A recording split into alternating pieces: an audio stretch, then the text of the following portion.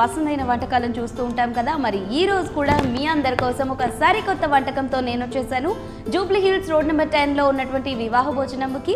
So మనందరి favourite అయినటువంటి celebrity chef Yadagiri garu మనతో పాటు ఉన్నారు. మరి చూద్దాం ఈ రోజు వారు మనకి ఎలాంటి కొత్త రెసిపీని చూపించబోతున్నారు. హలో షెఫ్ ఎలా ఉన్నారు? హాయ్ అండి బాగున్నాను. మీరు ఎలా ఉన్నారు? చాలా బాగున్నాను. మీరు ఎలా ఉన్నారు? మీరు చూడడానికి అయితే చాలా బాగా కనబడుతున్నారు. చాలా చాలా గ్యాప్ వచ్చింది. సో మరి ఈ రోజు మాకు ఏం స్పెషల్ చూపించబోతున్నారు? మేము ఇన్ని రోజులు మీ స్పెషల్స్ అన్నింటినీ చాలా మిస్ అయ్యాం. ఈరోజు ఏం చూపించిపోతున్నారు ఈరోజు కూడా ఏంటంటే నేను ఎప్పుడూ ఒక సీజనల్కు తగ్గట్టుగా ఆరోగ్యపరంగా ఉన్న రెసిపీలను చేస్తాను. ఈరోజు కూడా సీజనల్ ఇప్పుడున్న సీజనల్లో మనకు దొరికేటి మార్కెట్లో ఏదైతే అవైలబుల్ ఉందో దాంతో తాటి ముంజలు పుష్కలంగా దొరుకుతాయి. తాటి ముంజలతో కోడి కూర.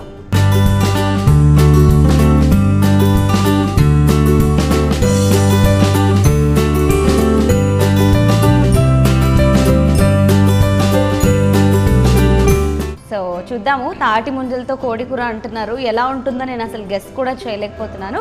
సో దాని ప్రాసెస్ ఏంటి? దాని ఇంగ్రీడియంట్స్ ఏంటి అనేది మనం ఇప్పుడు తెలుసుకుందాము. సో తాటి ముంజలు కోడికూరకు కావాల్సినటువంటి ఇంగ్రీడియంట్స్ ఏంటో ఒకసారి చూద్దాం. తాటి ముంజలు చికెన్ బోన్లెస్ పల్లీలు పుదీనా కొత్తిమీర ఆవాలు పచ్చిమిర్చి జీరా గరం మసాలా కరేపాకు చింతపండు పులుసు ఉల్లిపాయ పేస్టు ఉల్లిపాయ ముక్కలు కొబ్బరి తురుము నూనె ధనియాల పొడి green chilli paste so ingredients చూసేసాం కదండి. మరి లేట్ చేయకుండా ఇవాళ రెసిపీ ఏంటో మీరు అందరూ చూసేసారు కదా. చాలా ఇంట్రెస్టింగ్గా ఉంది నేమ్ అయితే. సో అది ఎలా తయారు చేయాలో మనం ఇప్పుడు మన షెఫ్ గారిని అడిగి తెలుసుకుందాము. సో లేట్ చేయకుండా మనం ఈరోజు ఇమీడియట్గా మన ప్రాసెస్ని స్టార్ట్ చేసేద్దామండి. తప్పకుండానండి. ముందు తాటి ముంజలను కట్ చేసుకోవాలి మనము. ఓకే. ఎలా అంటే ఈ పైన ఏదైతే స్కిన్ ఉంటుందో స్కిన్ తీసేసుకొని. సో ఈ తాటి ముంజల కోడి కూర అన్నది మీరు ఆల్రెడీ మీ రెస్టారెంట్లో స్టార్ట్ చేసేసారా? లేదంటే ఇప్పుడే మొదలు లేదు స్టార్ట్ చేసాం ఓకే సో ఎలా వచ్చింది రెస్పాన్స్ ఎలా ఉంది? చాలా బాగుంది అసలు. ఇప్పుడు ఈ పాండమిక్ సిచ్యువేషన్లో మీరు బాగా ఆలోచించండి. హోమ్ క్వారంటైన్ ఏదైతే చేశారో ఆహారంతో రోగాన్ని నయం చేయాలి ఎందుకంటే టిల్ డేట్ వరకు కూడా అవును. ప్రాపర్ టీకా తప్పితే కరోనాకు మెడిసిన్ ఉందా అన్న దానికి లేని లేదు జవాబు కాబట్టి ఆహారమే ఒక ఔషధం. అన్నది మనం తినే ఆహారం వల్లే ఆ కరోనాను కూడా మహమ్మారిని కూడా దాటేసి ఆరోగ్యంగా ఉన్నారు అంటే కారణం ఏంటంటే మనం తింటున్న ఫుడ్డే. కాబట్టి అలాంటి ఫుడ్డును మనము ఔషధంగా మార్చుకొని ఒక ప్రాసెస్గా చేసుకొని తినగలిగితే భయపడాల్సిన పని లేదు. అరే కరోనా ఉంది కదా అని చెప్పేసి చాలా వరకు భయంతో వచ్చిందంటే భయంతో మరణిస్తారు. భయాన్ని అధిగమిస్తే నా దగ్గర ఒక ఔషధం ఔషధం ఉంది అది నేను మెడిసిన్గా తినగలుగుతాను అంటే అసలు మనకు కరోనా అనేది మనం ఏమీ చేయదు. సో నిజంగా కోవిడ్ అంటే జన్ మనం తీసుకోవాల్సిన మెడిసిన్స్ అలాంటివి ఏమీ ఇంపార్టెంట్ కాదు. తీసుకోవాల్సిన ఫుడ్ చాలా ఇంపార్టెంట్ అని చెప్తూ ఉన్నారు కదా. సో యాజ్ ఏ షెఫ్గా మీరు ఇన్ని రోజులుగా ఎలాంటి జాగ్రత్తలు పాటించారు? అండ్ యాజ్ ఎ షెఫ్గా మన వ్యూయర్స్కి మీరు ఏం జాగ్రత్తలు తీసుకోవాలి అని చెప్పబోతున్నారంటే ఫుడ్ పరంగా. అంటే మనం ఎక్కువగా ఏ ఫుడ్ తీసుకుంటే మంచిది? మీరు ఎక్కువగా హోమ్ మేడ్ చెప్తూ ఉంటారు కదా సాధారణంగా. సో ఏది తీసుకుంటే మంచిది? మీరు ఎలాంటి జాగ్రత్తలు తీసుకున్నారు? ప్రేక్షకులను ఎలాంటి జాగ్రత్తలు తీసుకోమని చెప్తారు నేను తీసుకున్న జాగ్రత్తలు ఏంటి అంటే ఫస్ట్ మనం ఏంటంటే ఉదయము లేవంగానే బాడీకి కావాల్సిన ఇమ్యూనిటీ ఏంటంటే యోగా. ప్రాణాయామము అలంబిల్లము కొన్ని ఎక్సర్సైజెస్ అంటే ఫిట్నెస్ కోసం ఎక్సర్సైజెస్ ఉదయం లేచి కొన్ని ఎక్సర్సైజెస్ చేసి ప్రాణాయామం చేయగలిగితే అంటే ప్రాణాయామం అంటే మామూలుగా ప్రాణాయామం చేస్తుంటాం ప్రాణాయామంలో ఒక అరగంట కుంభక రేచక ప్రాణాయామం చేయగలిగితే ఖచ్చితంగా బాడీలో ఇమ్యూనిటీ ఎంత స్థాయి కావాలో దానికంటే పదంతల స్థాయి పెరుగుతుంది. అది మనం ఉదయం చేయగలిగి తర్వాత తినే ఆహారంలో నాన్ వెజ్లే తింటే బాగా అవుతాము అనుకుంటే అది తప్పు. నాన్ వెజ్ కాకుండా వెజిటేరియన్ కూడా అద్భుతమైన ఔషధం ఉంది. వెజిటేరియన్ నాన్ వెజ్లో ఇమ్యూనిటీని పెంచడానికి కావాల్సిన ఏంటంటే మంచి కొంచెం పసుపు రెగ్యులర్గా వాడేది. ఉదయం లేవగానే నేను వాడినదైతే నైట్ నానబెట్టుకొని మెంతులు వాటరు హీట్ చేసుకొని కొంచెం పసుపు వేసుకొని దాంట్లో మిరియాల పొడి వేసుకొని కొంచెం సోంపు పొడి వేసుకొని తాగేవాడిని. అదే మెంతులు నానిన మెంతులను కూడా ఒక స్పూన్ అన్ని మెంతులు ఉండేది. ఆ మెంతులను కూడా డైలీ మార్నింగ్. తినేవాడిని. తినేయడం వల్ల బాడీలో ఇమ్యూనిటీ పెరుగుతుంది బ్యాడ్ కొలెస్ట్రాల్స్ని తగ్గిస్తుంది. కాబట్టి మనకు మంచి ఎనర్జీ లెవెల్స్ పెంచుతుంది మెంతులు. కాబట్టి అది ఒక పెద్ద ఔషధం. రెండోది ఏంది ఇంకొకటి మనం తినే ఆహారంలో మిరియాల పొడి కంపల్సరీ పసుపు కొంచెం ఎక్కువ అంటే రెగ్యులర్గా వేసేదానికంటే మోతాదు కంటే కొంచెం ఎక్కువ వేసుకోవడం. మిరియాల పొడి సొంటి పొడి. వామతో కూడినది ఏ వంటలు చేసినా ఆ పరోటా కానీ లేకపోతే చపాతీ చేసినా రెగ్యులర్గా మనం చపాతీలు చేస్తాం. కానీ కొంచెం వామ వేసుకొని చపాతీలు చేస్తాం.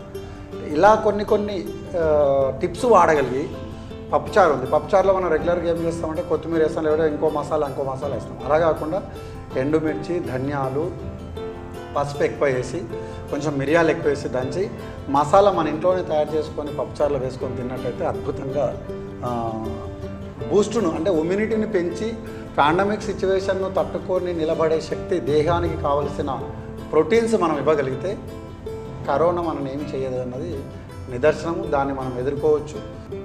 ఓకే అండి మరి మన ప్రాసెస్ స్టార్ట్ చేసేద్దాము. ముందుగా మనం ఇందులో ఆయిల్ వేసేసుకుందాం. నూనె వేసుకుందాం. సో జస్ట్ మీరు చూస్తున్నారు కదా ఈ చిన్న బౌల్తో మనం ఒక. బౌల్. ఆయిల్ వేసుకున్నాం అంటే ఒక four to five teaspoons వేసుకున్నాం కదండి. ఓకే. జీలకర్ర. అయితే ఇప్పుడు మనము ఈ మధ్య కాలంలో మనం చూస్తున్నాం ఆనందయ్య వారి ఆరోగ్యం చాలా. బాగా ఫేమస్ అవుతుంది. దాంట్లో వాడుతుంది ఏంటి జీలకర్ర అంటే చేదు జీలకర్ర. అంటే జీలకర్రలో కూడా రెండు మూడు రకాలు ఉంటాయి. అది కూడా చేదు జీలకర్ర మిరియాలు దాల్చిన చెక్క నేరేడు ఆకులు. ఇవన్నీ కూడా ఏంటంటే జెన్యున్గా మనము ఫుడ్లో సగ ఇప్పుడు మనం తింటున్నాయి సగం ఇప్పుడు ఆనందయ్య గారు వాడుతున్న మెటీరియల్లో సగభాగము మేము కరోనా డ్రింక్లో వాడుతాం. ఆనందయ్య గారు వాడుతున్న సగం మెటీరియల్ వివాహ భోజనంలో కరోనా డ్రింక్ అని చెప్పేసి అతిథులకు ఇచ్చేవాళ్ళము రెగ్యులర్గా. కంపల్సరీగా అందులో వాడే అంటే మనం వాడుతున్న మెటీరియల్లోనే ఔషధం ఉంది. అది పురాణ కాలంలోనే ఎట్లా వాడారో వాళ్ళు మన ప్రాసెస్ ఇచ్చిన వాళ్ళు నిజంగా వాళ్ళు మహానుభావులు వాళ్ళందరికీ కూడా మనము అభినందనలు చేయాలి. వాళ్ళు మనకి ఇచ్చిరు దాన్ని మనము ప్రాపర్గా వాడితే అద్భుతం అసలు నిజంగా చెప్పాలంటే. సో నెక్స్ట్ జీలకర్ర వేసుకున్నాం కదా ఇప్పుడు ఒక ఆవాలు. వేసుకున్నాం. ఓకే. పచ్చిమిర్చి. పచ్చిమిర్చి. కరివేపాకు. ముక్కలు ఉల్లిపాయ కట్ చేసిన ఉల్లిపాయ. ఓకే. జీలకర్ర ఆవాలు పచ్చిమిర్చి కరివేపాకు అండ్ ఆనియన్ పీసెస్ చేసుకొని మనం ఉల్లిపాయలు వేసుకున్నాము ఉల్లిపాయ. ఉల్లిపాయ మనం ఆల్రెడీ ముక్కలు వేసుకున్నాం కదా మళ్ళీ పేస్ట్. ఎందుకు వేస్తున్నారు అంటే ఇగురు ఫామ్లో రావడం. ఓకే. ఇంకోటి ఏంటంటే దీంట్లో ఇంకా వేరే ఏ మసాలాలు వేసలేం కాదు ఓకే. ఇందులో ఇంకా వేరే మసాలాలు ఏం వాడట్లేదు కాబట్టి. Okay okay. నెక్స్ట్ ఏం వేసుకుందామండి మనం దాంట్లో కొంచెం పసుపు. ఇక్కడ పసుపు. ఓకే.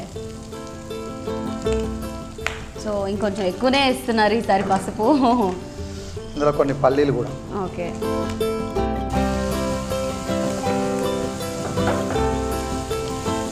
పల్లీలు జనరల్గా మనం నాన్ వెజ్లో పేస్ట్ చేసి వేసుకుంటాం కదా మీరు డైరెక్ట్ వేసేసారు దీంట్లో? అదే. దీంట్లో ఉన్న ప్రత్యేకత green chilli paste okay. So కొంచెం పల్లీలు వేసుకొని మనము గ్రీన్ చిల్లీ పేస్ట్ కూడా యాడ్ చేసుకున్నాం దీంట్లో.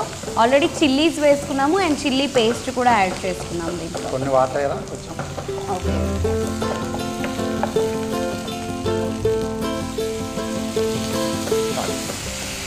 కొంచెం మనం వాటర్ వేసుకున్నామండి. వాటర్ చూడొచ్చు మీరు చాలా తక్కువ క్వాంటిటీతో మనం వాటర్ వేసాం దీంట్లో.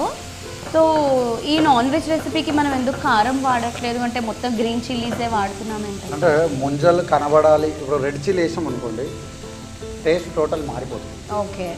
ముంజలు చేస్తున్న ఫీల్ రాదు. ఓకే. అంటే ఏ రెసిపీకి ఏ ఇంగ్రీడియంట్స్ వాడితే లుక్తో పాటు రుచి కూడా వస్తుంది అన్నది మనము గుర్తించి అలా వంట చేయగలిగితే అది కమ్మగా ఉంటుంది ఓకే సో చూసారు కదా చాలా మందికి డౌట్ రా రావచ్చు. అంటే దీంట్లో కారం వేయొచ్చా వేస్ వేయకూడదా అని సో క్లారిటీ ఇచ్చేసారు మన షెఫ్ గారు అయితే. దీనికి ఇది వేస్తేనే రుచి ఉంటుంది అని చెప్తున్నారు. సో మీరు కావాలంటే ఒకసారి కారం కూడా వేసుకొని ట్రై చేయొచ్చు కంపేర్ చేసుకోవచ్చు. టేస్ట్ ఎలా. ఉంటుంది అన్నది మీరు కంపేర్ చేసుకోవచ్చు. సో నెక్స్ట్ చికెన్ వేసుకున్నాం. చికెన్. బోన్లెస్ నేను వాడింది. ఒకవేళ. మీరు బోన్ ఇష్టపడితే బోన్తో కూడా చేసుకోవచ్చు. ఓకే. సో చికెన్ అంటే ఇది ఎంత ఎంత తీసుకున్నామండి చికెన్ మనము? పావు కిలో. ఓకే. జస్ట్ ఒక two hundred to two fifty grams of chicken తీసుకున్నాం మనం ఇప్పుడు డైరెక్ట్ వేసేసాను. సో పసుపు అవన్నీ కూడా వేసేసుకున్న తర్వాత ఉప్పు వేసుకోవాలి. ఓకే. సో రుచికి సరిపడా కొంచెం ఉప్పు వేసేసుకుంటున్నాం నెక్స్ట్ మనము.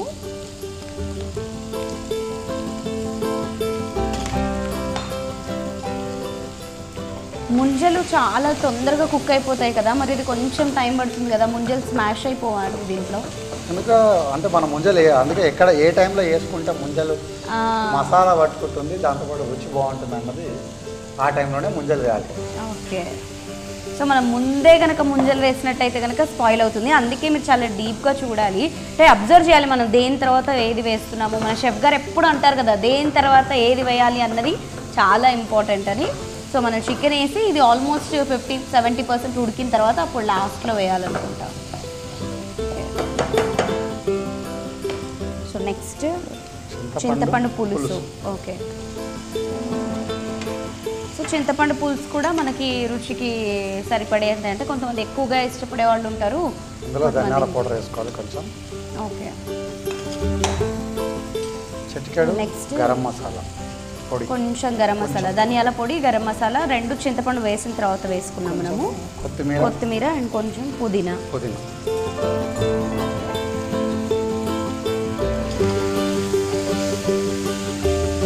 ఇప్పుడు మనము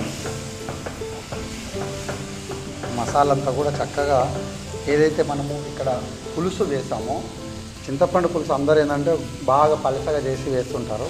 కానీ నేను ఇక్కడ వేస్తే ఏంటంటే చిక్కగా. ముక్కగా పులుపు కారము ఉప్పు సమపాళ్ళుగా ముక్కకు పట్టుకుంటే తింటుంటే దాని రుచి చెప్పాల్సిన అవసరం లేదు. తింటే తెలుస్తుంది. ఓకే. సో సేమ్ ప్రాసెస్లో ఎవరైనా చింతపండుని అవాయిడ్ చేయాలి అంటే అవాయిడ్ చేసుకోవచ్చు అంటారు? చేసుకోవచ్చు. మామిడికాయ దొరుకుతుంది అనుకోండి. మామిడికాయ పేస్ట్ చేసుకోవచ్చు. ఓకే. సీజనల్ కాదు ఓకే. సో చింతకాయ ఎవరైనా చింతపండు తినని వాళ్ళు ఉంటే కనుక ఎసిడిటీ ప్రాబ్లంతో వాళ్ళు కొంచెం మామిడికాయని ఎలా ప్రిఫర్ చేసుకోవచ్చు అంటున్నారు. మీకు కావాలి అనుకుంటే మీ టేస్ట్కి తగ్గట్టు మీరు అలా కూడా ట్రై చేయొచ్చు. సో ఇప్పుడు ఇది మనకి కుక్ అవ్వడానికి కొంచెం టైం పడుతుంది కదా. మళ్ళీ దాంట్లో వాటర్ ఏమైనా వేయాల్సి వేయాలి కదా. ఓకే సో వాటర్ వేయండి. కొద్దిగా వేయండి తర్వాత మళ్ళీ చాలు. సో కొంచెం వాటర్ వేసుకున్నాము. ఆల్రెడీ మనం చింతపండు పులుసు వేసుకున్నాం కదా. సో ఇప్పుడు కొంచెం వాటర్ దాంట్లో యాడ్ చేసాము. తురిమిన కొబ్బరి. కొబ్బరి. సో ఇది పచ్చి కొబ్బరి అండ్ కొబ్బరి అండి? ఓకే. పచ్చి కొబ్బరి వేసుకున్నాం తురిమింది జస్ట్ ఒక చిన్న బౌల్ ఇక్కడ మనం చూస్తున్నాం అదేవిధంగా తాటి ముంజలను ముక్కలుగా కట్ చేసిన తాటి ముంజలను ఇందులో వేసుకోవాలి. ఓకే. సో ఇదంతా కుక్ అవ్వడానికి వాటర్ సరిపోతాయా? మనం చాలా తక్కువ క్వాంటిటీ ఆఫ్ వాటర్ వేసుకుంటాం ఓకే సో మళ్ళీ వాటర్ వేసుకోవాలి. మళ్ళీ వాటర్ వేసుకోవాలి. ఇప్పుడు పోయండి.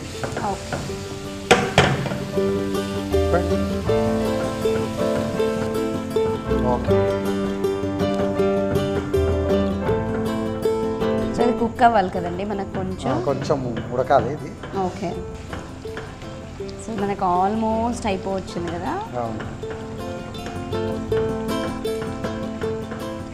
ఎందుకు నాకు కొంచెం ఇంకా కొద్దిగా ఉప్పు పడుతుంది అనిపిస్తుంది. ఓ మీరు స్మెల్ అందరం మనం టేస్ట్ చూసి చెప్తే మనం నాలుకతో చెప్తే ముక్కుతోనే చెప్తారు. ఉడికిపోయింది కదండి ఆల్మోస్ట్. ఆల్మోస్ట్ ఉడికిపోయింది. చివరగా కొంచెం కొత్తిమీర ఫైనల్గా ఇంకా ఇష్టపడే వాళ్ళు అంటే ఇంకా మాకు బాగా రుచి కావాలి అనుకున్న వాళ్ళు అనిపిస్తే కొంచెం గీ కూడా వాడచ్చు. కొంచెం గీ వాడితే కూడా ఇంకా గుమగుమలు ఆడుతూ ఉంటుంది. సో ఇంకా సర్వ్ చేసుకోవడమే కదండి? అవును. ఓకే.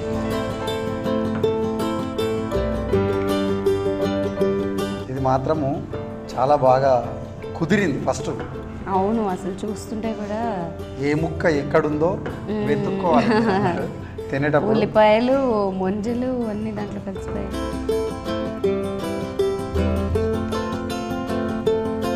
పల్లీలు కొంచెం కొత్తిమీర కొంచెం కొత్తిమీరను. ఇదండి తాటి ముంజల కోడి కూర. మరి ఇది ఎప్పుడు ఎప్పుడు రుచి చూడాలని చెప్పేసి అంటున్నావు నాకు అర్థమైంది. సో తాటి ముంజలు కోడి కూర అయితే రెడీ అయిపోయింది. మరి దీని టేస్ట్ ఎలా ఉందో లేట్ చేయకుండా వెంటనే టేస్ట్ చేసి చూసిస్తాను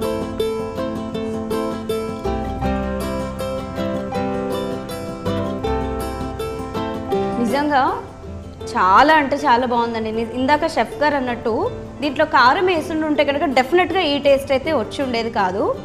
సీరియస్లీ చాలా అంటే చాలా బాగుంది. డెఫినెట్గా ముంజల సీజన్ అయిపోయేలోపు మీరందరూ కూడా మీ ఇంట్లో ఈ రెసిపీని ట్రై చేయండి. లేదు అంటే కనుక మన వివాహ భోజనము వాళ్ళు ఎప్పుడైనా సిద్ధంగానే ఉంటారు కాబట్టి మీకు కావాలి అంటే కనుక ఒక చిన్న కాల్ చేసినట్లయితే డెఫినెట్గా వాళ్ళు మీ ఇంటికి అయితే పంపించేస్తారు.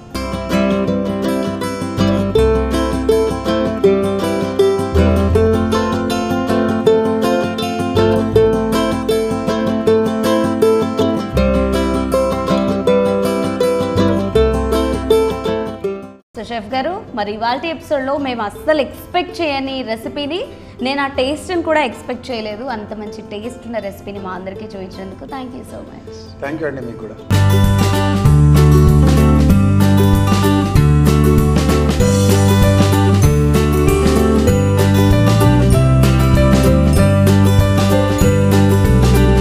సో చూసారు కదండి ఇవాళ ఎపిసోడ్ని ఇవాళ ఎపిసోడ్లో ఇంట్రెస్టింగ్ రెసిపీని మనందరం చూసాం కదా. ఇలాంటి ఇంట్రెస్టింగ్ రెసిపీస్ని మనం ఇంకా ఫర్దర్ ఎపిసోడ్స్లో చూస్తూనే ఉంటాము.